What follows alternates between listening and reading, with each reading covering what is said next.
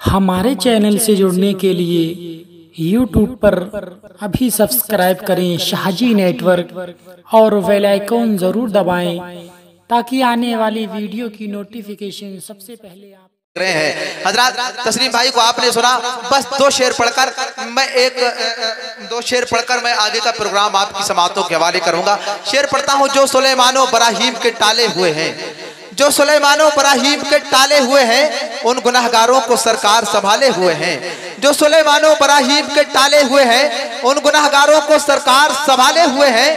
جس طرف دیکھو اندھیرا ہی نظر آتا تھا، جس طرف دیکھو اندھیرا ہی نظر آتا تھا، ان کی آمد سے دو عالم میں اجالے ہوئے ہیں۔ جس طرف دیکھو اندھیرا ہی نظر آتا تھا، ان کی آمد سے دو عالم میں اجالے ہوئے ہیں۔ آئیے حضرات شاعر اسلام مدہ رسول نام محترم الحاج عثمان رضا ہارونی صاحب کی آمد سے پہلے، صرف پانچ، چھ منٹ کے لیے میں گزارش کروں گا، حضرت مولانا ضمیر الدین صاحب قبلہ سے وہ تشریف لائیں اور اپنی گفتگو سے نواز دیں۔ نعروں سے استقبال کر لیں۔ نعرہ تکبیر، نعرہ رسالت، نعرہ غوثیت، علماء اہل سنت، فیضان شہری و رضا، نعرہ تکبیر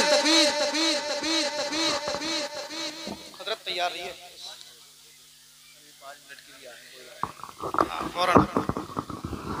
یہ کسی بھائی نے سو روپے دیے تھے توڑانے کے لیے، ستر روپے واپس دے دیے، تیس بچے ہیں، کون صاحب تھے؟ مجھے آواز دے دینا۔ جی۔ جزاک اللہ۔ ممبر رسول پر جلبہ فروز علماء اہل سنت۔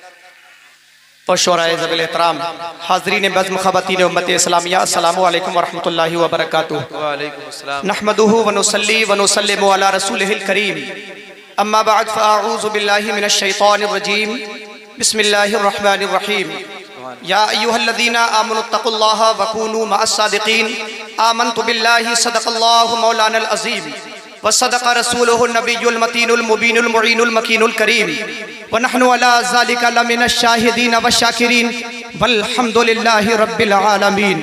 خیرت کو مائل پرواز کیا جنون عشق کو ہمراز کیا۔ الہی میری عقیدت کی لاج رکھ لینا، تیرے ہی نام سے آغاز کیا۔ حضرات قابل مبارک مبارکباد آپ حضرات جو آپ نے، اللہ اور اللہ کے رسول اور حضور سرکار سیدنا دادا میاں رحمت اللہ تعالیٰ علیہ کی یاد میں اس محفل پاک کا انعقاد کیا۔ یہ آپ کی اولیاء اللہ سے محبت ہے۔ میں دعا کرتا ہوں اللہ تعالیٰ وہ مرتے دم تک اس محبت کو قائم و دائم رکھے۔ حضرات، جیسا کہ آپ دیکھ رہے ہیں کہ ممبر رسول پر علماء کرام کثیر تعداد میں تشریف فرما ہے۔ وہیں پر شاعر ہندوستان توتی چمنستان رسالت ماب الحاج بھائی عثمان رضا صاحب ہارونی پوری اپنے شاعر شاعری کے ساتھ تشریف فرما ہے اور انشاءاللہ تعالیٰ ان قریب آپ بہت کچھ سماعت کریں گے۔ میں آپ ہی کا بستی کا ایک بچہ، آپ ہی کا بیٹا، آپ ہی کا بتیجہ آپ ہی کا بھائی۔ بس چند منٹ آپ حضرات کے دیار محبت میں حاضر ہوں۔ میں وقت کو زیادہ ضائع نہ کرتوں کرتا ہوا خطیب کی ایک عادت ہوتی ہے دھیرے دھیرے اپنی اس ٹیم کو بڑھاتا ہے۔ لیکن حضرات میں وقت کو اپنے ذہن میں رکھوں اور اپنی بات کا آغاز کر دوں۔ آپ مجھے احساس کرا دیجیے کہ مختصر سے وقت میں حضرت ہم آپ کو سننے کے لیے تیار ہیں۔ ہاتھ اٹھا کر بول دیں یا رسول اللہ ولی اللہ کا جس بزم میں چرچا نہیں ملتا۔ بول دیجیے ولی اللہ کا جس بزم میں چرچا نہیں ملتا۔ یقین سمجھو وہاں فیض شہ بالا نہیں ملتا۔ ولی اللہ کا جس بزم میں چرچا نہیں ملتا۔ یقین سمجھو وہاں فیض شہ بالا نہیں ملتا۔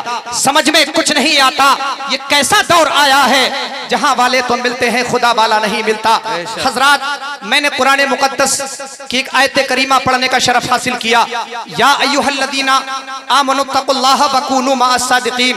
جس میں میرا رب ارشاد فرماتا ہے اے میرے بندو اے ایمان والو تم اللہ سے ڈرو اور سچوں کے ساتھ ہو جاؤ۔ حضرات میں آپ کی توجہ چاہوں گا۔ رب تمہارا کیا کہتا ہے؟ اے ایمان والو، دیکھیے میرے رب نے نماز کا حکم دیا۔ تو نماز والوں جب نماز کا حکم دیا، تو مومنوں کو خطاب کر کے کہا زکاة کا حکم دیا۔ تو مومنوں سے خطاب کر کے کہا، اللہ رب العزت نے نماز کا زکاة کا، حج کا، جس معاملے میں جو کچھ بھی حکم دیا، تو ایمان والوں کو دیا۔ یا ایوہ الذین آمنو، کہہ کر دیا۔ حضرات وہیں پر میرے رب نے اولیاء کرام کے تعلق سے کہا۔ تو فرمایا یا ایوہ الذین آمنو تقوا اللہ۔ اے ایمان والو تم اللہ سے ڈرو۔ وَكُونُوا مَا صَادِقِينَ اور سچوں کے ساتھ ہو جائیں اب پوچھنا چاہیں گے کہ ضمیر صاحب بتائیں یہ سچے کون ہیں؟ یہ علماء کرام کی جماعت بتاتی ہے جن کو میرا رب سچا کہتا ہے وہ غوث آزم ہیں۔ جن کو میرا رب سچا کہتا ہے وہ خواجہ غریب نواز ہیں۔ جس کو میرا رب سچا کہتا ہے وہ صابر پاک ہیں۔ جس کو میرا رب سچا کہتا ہے وہ شاہ جمیہ ہیں۔ جس کو میرا رب سچا کہتا ہے وہ اعلیٰ حضرت ہیں۔ جس کو میرا رب سچا کہتا ہے وہ دادا میاں ہیں۔ جس کو میرا رب کہتا ہے وہ تمہارے ہمارے شفقت میں یا حضور اللہ۔ حضرات، انہی کے لیے میرا رب کہتا ہے، ان سے، ان سچوں کے ساتھ ہو جاؤ، ان سے بابستہ ہو جاؤ، ان سے منسلک ہو جاؤ۔ اے میرے معبود، اے پروردگار عالم، تو نے ان سچوں سے کیوں کہا بابستہ ہونے کے لیے؟ تو حضرات، ہمیں ذہن ملا، میرے رب نے اس لیے کہا، جب تم ان سچوں کے ساتھ ہو جاؤ گے غوث آزم کے ساتھ ہو گے خواجہ غریب نواز کے ساتھ ہو گے تمام ترولیاء اکرام کے جب ساتھ ہو گے ان سے محبت کرو گے تو ان کی زندگی کو اپنے سامنے رکھو۔ رکھو گے۔ جب تم غوث آزم کی زندگی کا جب مطالعہ کرو گے تو تمہارے غوث آزم نے چالیس سال تک عشاء کے وضو سے فجر کی نماز کو ادا کیا ہے۔ حضرات اور پانچ منٹ لے لوں اجازت ہو تو۔ اجازت ہے نا؟ یہ اولیاء اکرام یہ بزرگان دین میرے دادا میاں کا آستانہ ہے۔ ہم ان سے محبت کرتے ہیں۔ ہمیں اپنی قسمت پر ناز ناز ہے مسلمانوں۔ حضرات اور ہمارا یہ عقیدہ ہے ان بزرگوں سے ہم اس لیے محبت کرتے ہیں کہ کل قیامت کا دن ہوگا نفس نفسی کا عالم ہوگا۔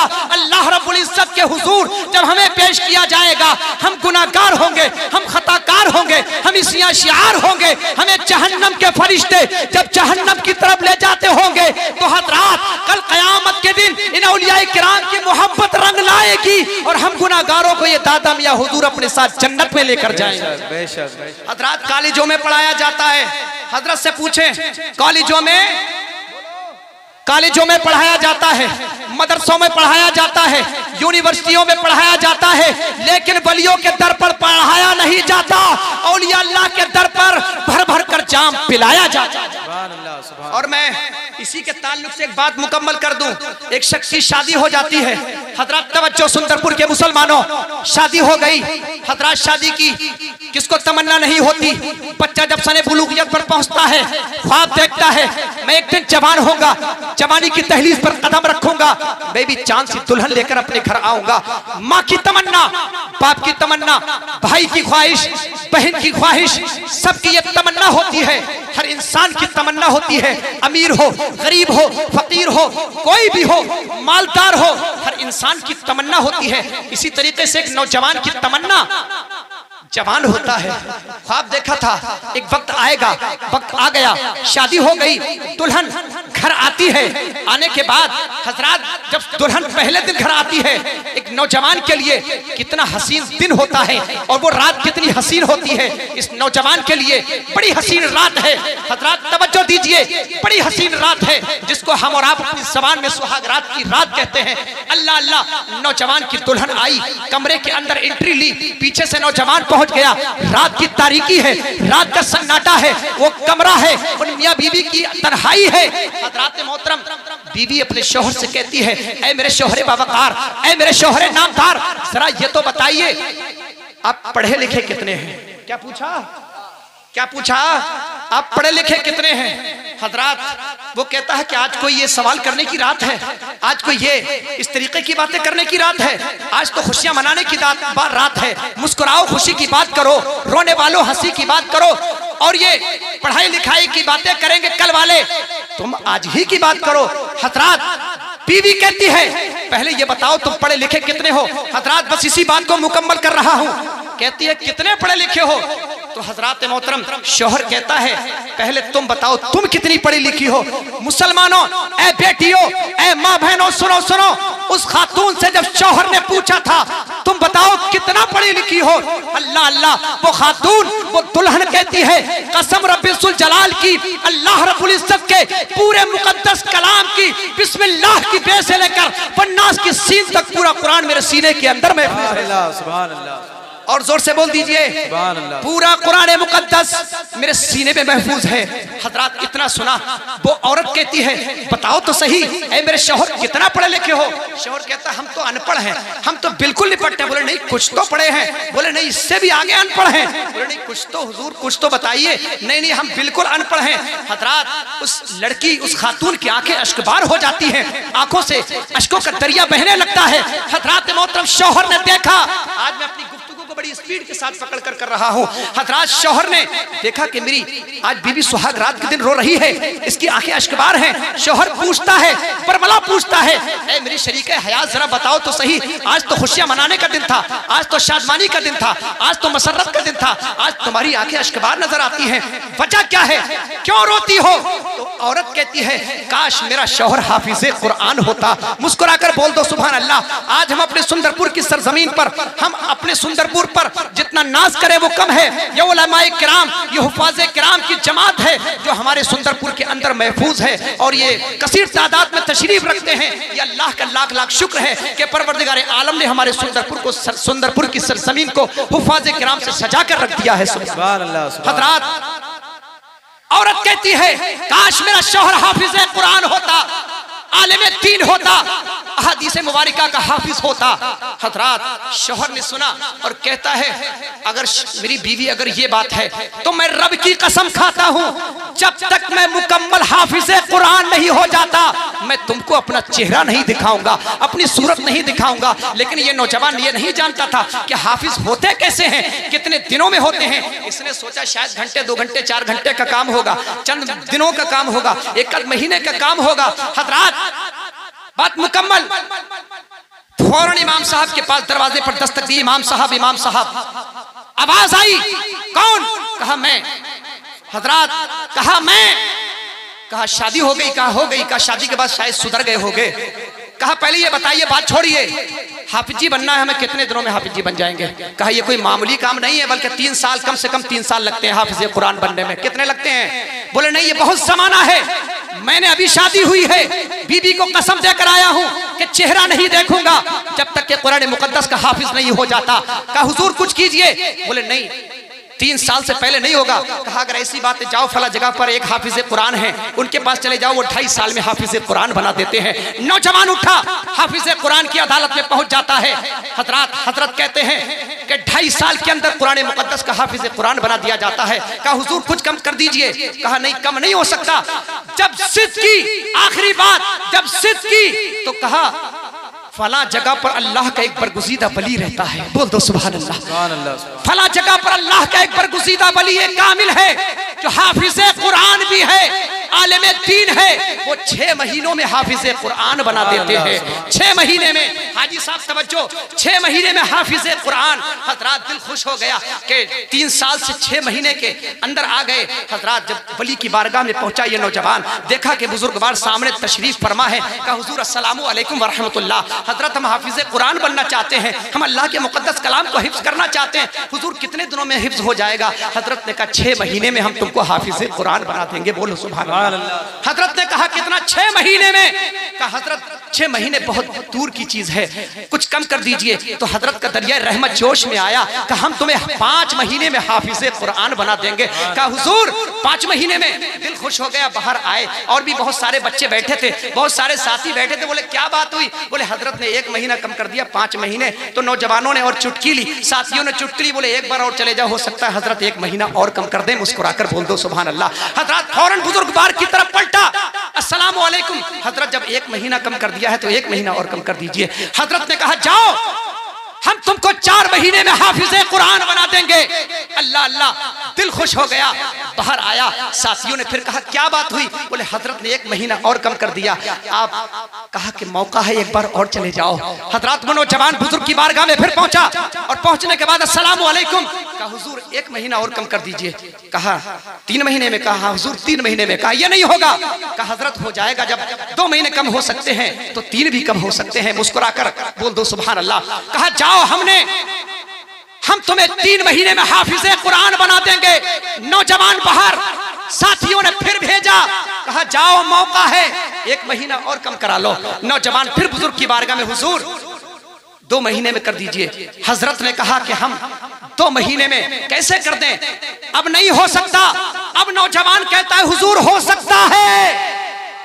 کہا، حضور ہو سکتا ہے۔ کہا، کیسے؟ نوجوان نے کہا کہ نگاہ ولی میں وہ تاثیر دیکھی۔ ارے، زور سے بولو۔ کہا، نگاہ ولی میں وہ تاثیر دیکھی اور بدلتی ہزاروں کی تقدیر دیکھی۔ بدلتی ہزاروں کی تقدیر دیکھی کہ حضور ایک مہینے میں حضرت نے کہا ہاں ایک مہینے سے کم میں بھی حافظ قرآن، حضور کیا کرنا پڑے گا؟ کچھ پڑھنا پڑے گا؟ حضرت نے کہا، آؤ اور میرے میرے پاس اور قریب آ جاؤ۔ نوجوان بزرگ کے قریب پہنچا۔ بزرگ بار نے، اللہ کے برگزیدہ ولی نے اپنی زبان کو نکالا۔ کہا کہ اے نوجوان، میری زبان کو چوس لے۔ مسلمانوں، اس نوجوان نے جب بزرگ بار کی زبان کو چوسا اور باہر کیا تو قسم کھائی۔ اللہ کی قسم، میں دس باروں کا مقدس کلام کلام کے حافظ قرآن ہو چکا ہوں سبحان اللہ۔ حضرات محترم حضرت نے زبان اندر کر لی کہا حضور بڑی جلدی کر لی تھوڑی دیر اور روکتے تو میں اور حافظ جی بن جاتا۔ حضرت نے کہا لیجیے پھر زبان چوسیے پھر زبان کو چوسا پھر دس پاروں کا حافظ قرآن جب تیسری بار چوسا پھر حافظ قرآن۔ اللہ اللہ کہتا ہے خدا کی قسم میں پورے قرآن مقدس کا حافظ قرآن بن چکا ہوں سبحان اللہ۔ تو یہ اولیاء کرام ہیں یہ اپنی نگاہوں سے یہ اپنے نگاہوں سے اپنے ماننے والوں کو بھر بھر کر جام پلا دیا کرتے ہیں۔ اور حضرات جس طریقے سے آج ایک سڑا ہوا کیلا، آج ایک سڑا ہوا امرود، اوپر سے اچھے امرود ہوتے ہیں، اس کی آڑ میں خراب امرود بھی چلے جاتے ہیں۔ خراب کیلے، اچھوں کی آڑ میں وہ بھی چلے جاتے ہیں۔ مانا، ہم گناہگار ہیں، ہم خطاکار ہیں۔ ارے، یہ تو سچے ہیں۔ ہم گناہگار ہوں گے، لیکن اللہ رب العزت ان سچوں کے صدقے میں ہم سب کا بیڑا پار لگائے گا۔ السلام علیکم۔